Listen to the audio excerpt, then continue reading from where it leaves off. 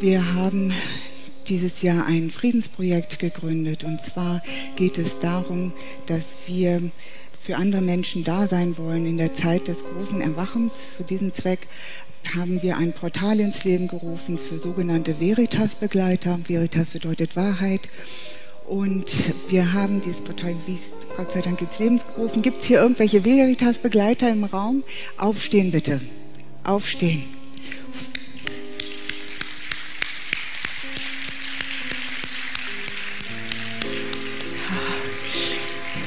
Das sind Menschen, die für andere Menschen da sein werden, wenn das große Erwachen kommt. Und die haben meinen tiefsten Respekt. Danke, danke, danke dafür.